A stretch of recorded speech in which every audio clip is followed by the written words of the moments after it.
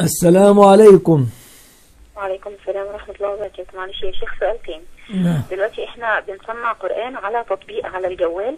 التطبيق دوت جالنا فتوى من واحدة داعية إنه هو في امتحان للقرآن. فأنا هشرح لحضرتك تقولي إذا كان في امتحان أو لأ. التطبيق بيبقى أول ما بضغط إن أنا هسمع هبدأ تسميع بيمسح الصفحة تماما وبعدين بيبدأ ي- أنا أتكلم وهو يكتب ال- الكلام اللي أنا بقوله. بس طبعا بيكتب الصح. أول ما أغلط غلطة بيروح واقف. ما يكملش. لما مجرد إن أنا أكمل قراءة بعد الغلطة ما, بي ما بيعملش حاجة بيروح كاتب الصح يكتب الصح ما بيكتبش الغلط. في بقى اختيار بعد كده بعد ما أخلص بيروح جايب لي بقى الأخطاء اللي انت أخطأتيها غلطت في كلمة كذا وكلمة كذا وكلمة كذا.